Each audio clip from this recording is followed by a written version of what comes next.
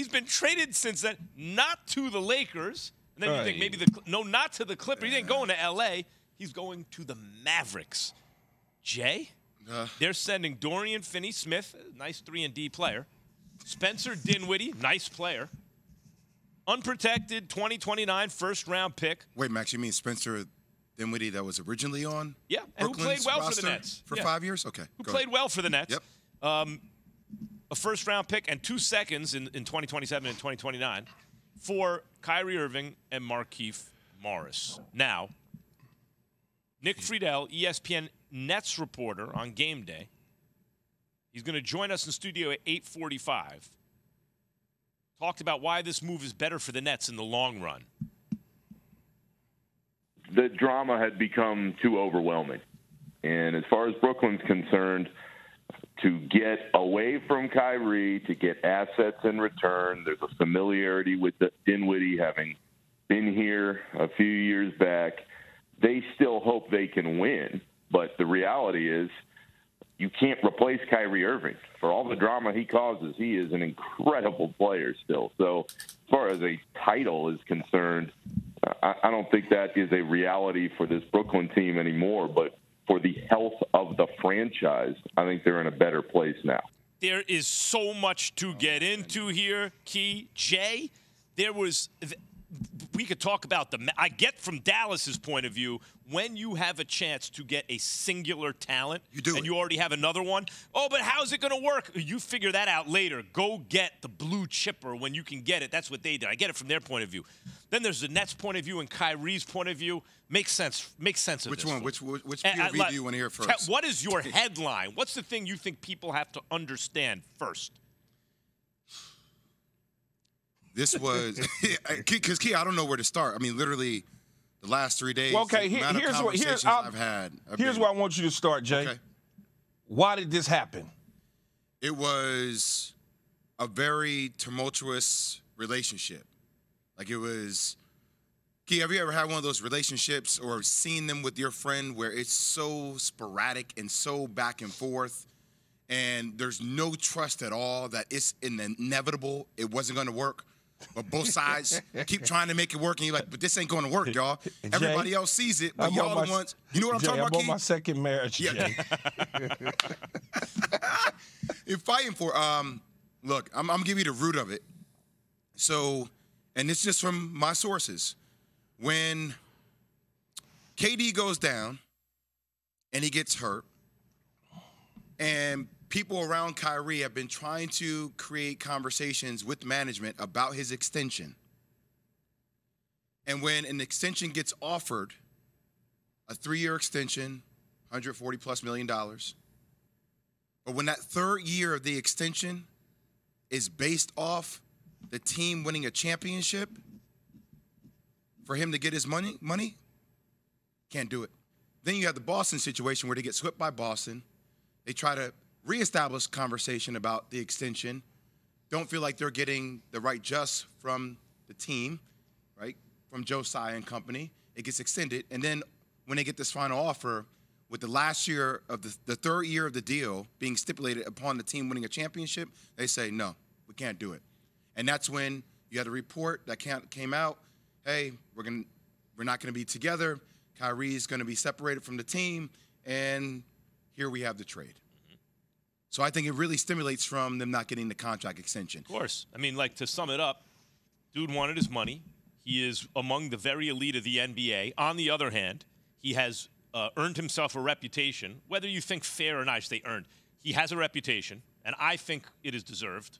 To the extent to which it's deserved is another argument. But where, given his level of talent, he is not considered reliable. Is he going to be there? Will something come up? Is he going to feel like he doesn't want to play, like he's evolving into something other than a basketball player, like he doesn't want to get a shot, et cetera, et cetera? and and therefore they want to treat him not quite like an elite But, player. but Max, here, here's and I, sometimes the way you say things really uh, matter. sure. Because I said the headline once again. I'm just not sure people heard me. You give me a contract in NBA history where a year of your pay has been stipulated upon your team winning a championship. I, it's the first It's I've heard of it. unprecedented. You've never heard of it before in the history of basketball. It's a complete slap in the face. If you want to stipulate my contract based upon games played, okay. Like that's even that's a separate conversation, right? Because if KD's not playing, if Ben Simmons isn't here playing the way we thought he was going to play, and I have to play 40 minutes a night, it increases my probability of injury while I'm carrying the team. So that that's a separate conversation, but that's more respectable. Okay. Yeah, you guys It's couldn't 60 make- games. Okay. It's you know, not- I You guys that, couldn't kid. make. You had Harden no- here. You now you don't have Harden here. You guys couldn't make the whole thing work, and now I'm gonna lose money because if we don't win a champ, I get it. Yep. Yeah. It- it- it's not respectable at all, Jay. The fact that you want to stipulate and put some clause in my contract, whether it was the first year or the third year, i- if we go down because, I, let's say I play the entire season, and Ben Simmons doesn't play, or KD gets hurt again in the playoffs, or whatever the case may be, or, or you know he requests a trade or something along those lines come up.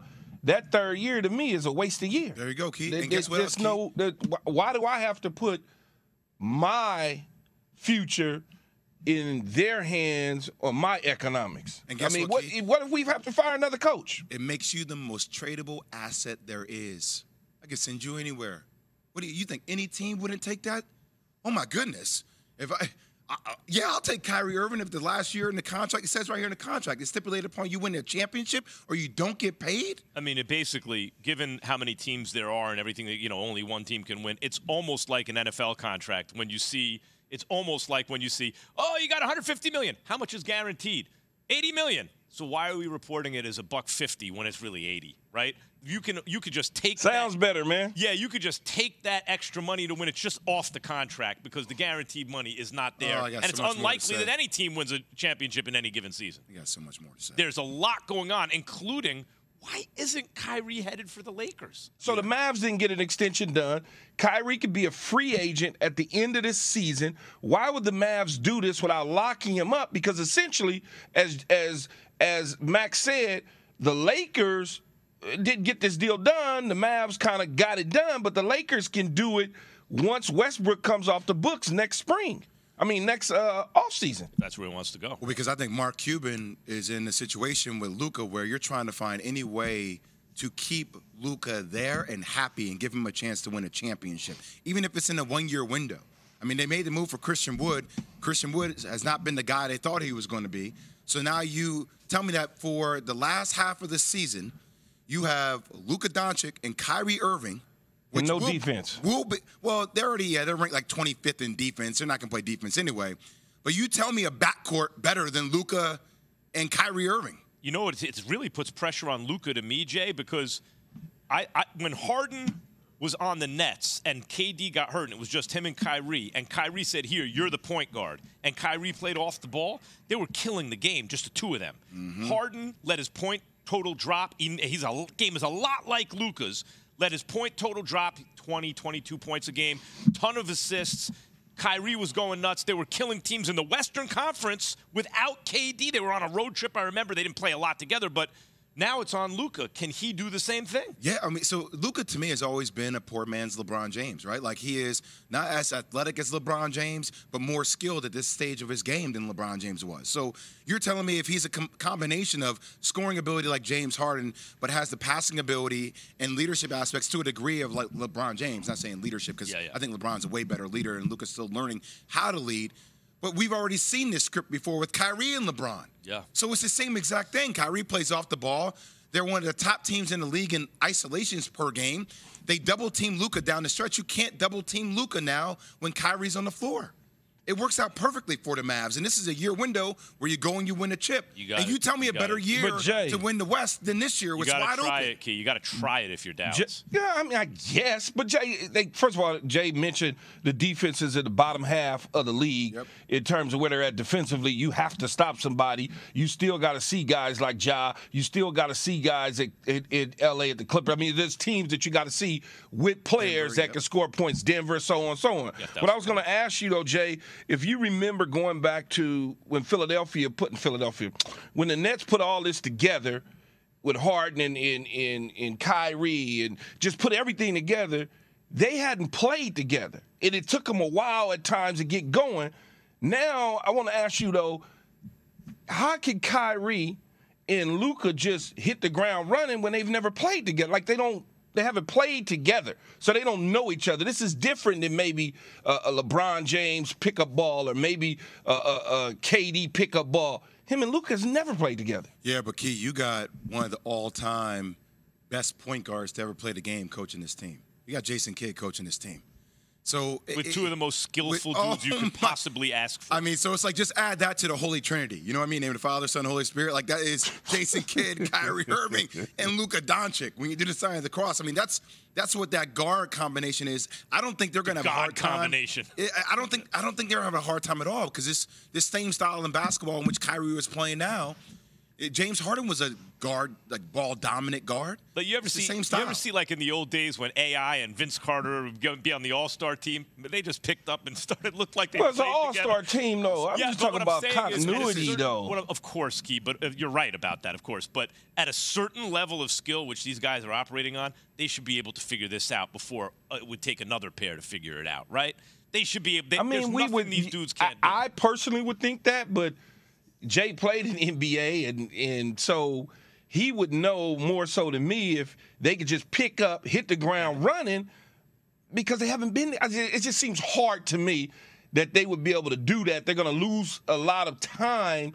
You know, before the playoffs, trying to put the continuity together. They ain't going to stop anyone, that's for sure. But they should be able to score, right? I mean, look, if you, as a, as a hooper though, key, like if there's a certain skill set that I have as a scorer, a playmaker, right, and a dynamic handler, like that, th- those aren't hard aspects to combine to a team, right?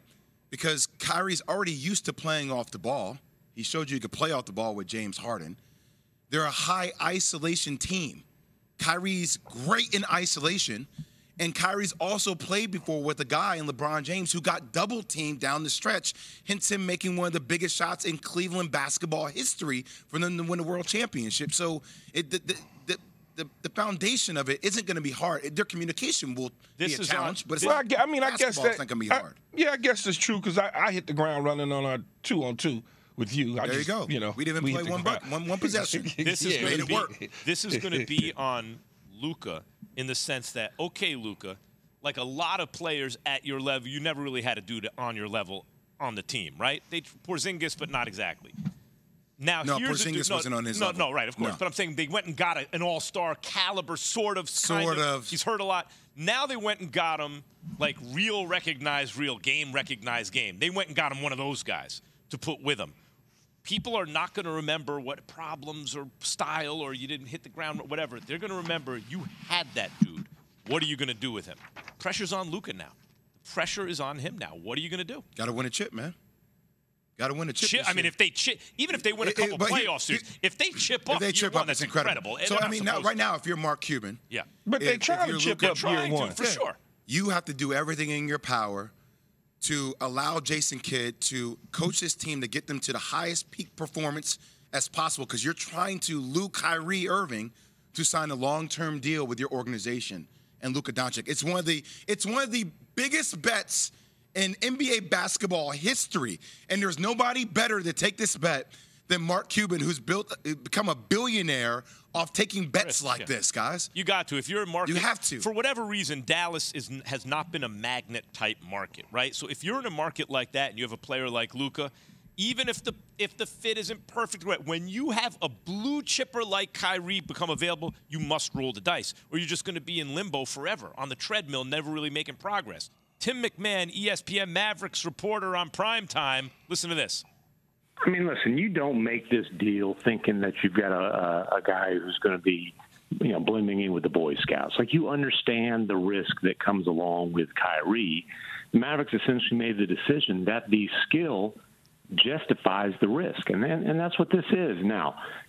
It's kind of a trial period for both sides, right? But I think more so, if we're being frank, for for Kyrie Irving. He's the one who has the leverage, who kind of has all all the cards to play. They're not going to talk extension because he wants a four year deal. Jay, it it as you would like to say, it chaps your you know what. But when I when I hear people say, you know, you're not getting a guy in the Boy Scouts and all this sort of stuff, I'm just I'm always trying to understand what they mean by this because I'm not afraid to do a deal with Kyrie because I understand what he is. I understand his thought process, his mental capacity of what he believes in and what he doesn't believe in. All I really care about is the basketball side of things because everybody in the world have their own beliefs. They have their own beliefs about what it is, whether it was the vaccination situation, whether it was watching uh, people of color go through certain things in their lives, and you want to kind of give them a, a shoulder to lean on and support situations. And you always go back to it's always something with him. And that always something with him drives me nuts. Yes, he's missed time because he believes in what he believes in. It's not like he's out there he's missing time because he's in domestic violence situations, or he's missing time because he's in and out of rehab for drug issues, or he's missing time because in he other just words, the use of the word Boy Scout places a negative spin on his on his character as though he's doing stuff wrong, as opposed to reasons why he missed time that you might not love from a professional point of view, but it doesn't make him a bad guy. Yeah, I- and, and so Jay, explain to me why in basketball circles is that? Well, I, I don't think that is in basketball circles. Well, when I say basketball circles, I meant around the the the, the media, so to speak, not necessarily people on the court wearing the uniforms. Well, I mean, I, I think for the last for the last couple of years, Keith, think about what you just made mention.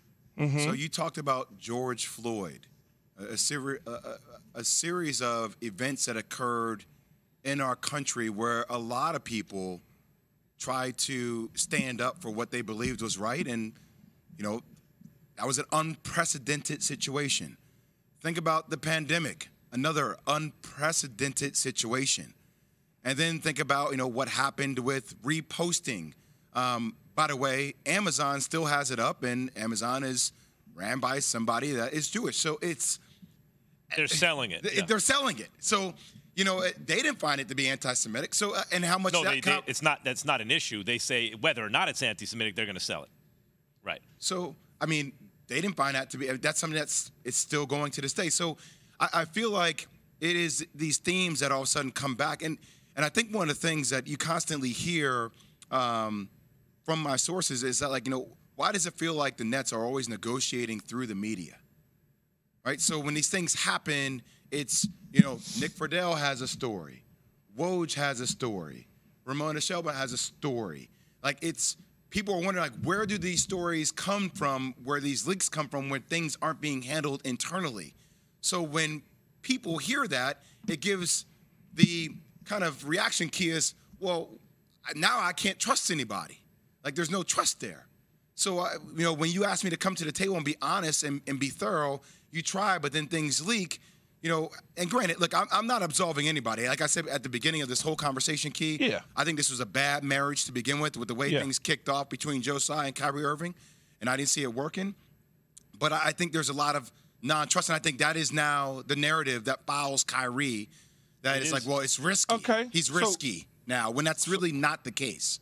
So, my other side to this, and you, you mentioned it, yeah, right? Leaks, information from for whatever reason is coming out of the building in Brooklyn to whoever for close relationships. And we talked about it. I want to ask you when we came out. We before we went to break, I wanted to ask you about the Kevin Durant situation, but I, I know we talked about Kyrie. I wanted to get that in early before I move on to KD. Mm-hmm. You talked about KD doing it quietly, not being loud about being traded. If in fact he wanted to come summertime, and I feel I feel like last night before I went to bed, I thought if he moves again, he's gonna they're gonna bury his ass. But I listened to you this morning. I'm like, well, I guess if he did it quietly and just was like, okay, I'm gonna play, but then in the summertime, I need to go to them and say, man, this ain't, you know, let's just figure it out. Send me to Miami, send me to LA, send me to Oakland. I don't care. I just want to get out. But even with that being said, now that you said leaks, they could turn it on him and say he wanted out, even though he did it quietly. So he is still gonna get Framed as the bad guy. Framed as the bad guy, so to speak, Jay. But but Key, I, I don't think Kevin Durant gives a damn about how people frame him. Like I- he'll, I he'll know- fight I people know on social yeah. media about it. But like this goes back to the bigger conversation that me, you, and Max were talking about offline here. Right? Like one of the reasons why y'all got a chip, y'all being the Lakers key, is because there were influences with LeBron's camp that ultimately joined forces with the Lakers to help get things done.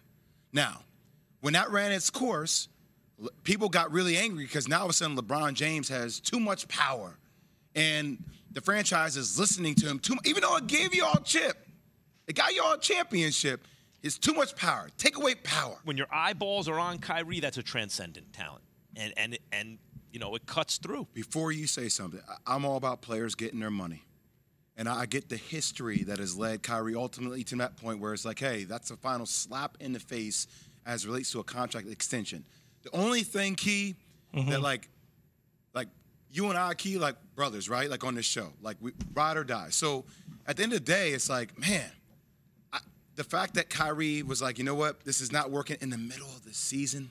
I get that's the only thing that kind of like for Kevin Durant and that Well- relationship is the only thing that makes it hard. But Jay, if you had to get your Jay, money, but think and, about and it, for some reason you had to you had to bounce in the middle of something, but it was to get your money. But you Everyone would, But understands. you would have gotten your money anyway at the end of the season. Right. Yeah, but I ain't. But I ain't. But no, But man, you're I over do dealing with it. So I love you, I, hear Jay. you. I know Trade you gotta that deadline choice. coming up. I know Y'all you gotta make a choice. I hear you. Y'all giving me a three-year deal, but it's really a two-year bamboozle me. If I don't make it to the championship my first and second year, that third year is basically voided out. I don't get my that's the- money. that's the first I thing I said, like, Key. But what, when it, what if, Key, I was like, I'm just not signing anything, but finish the year out, I'm gone.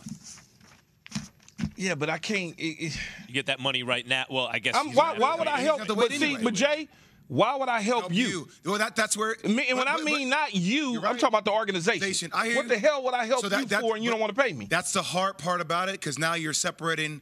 I don't want to help the organization, but this is my boy. Like, how Yeah, do I, can't- not help my you boy my too? dude, but a buck fifty, I can't. Me and you, we gonna see each other later on, man. I We good. Thanks for watching ESPN on YouTube. For live streaming sports and premium content, subscribe to E ESPN Plus right now.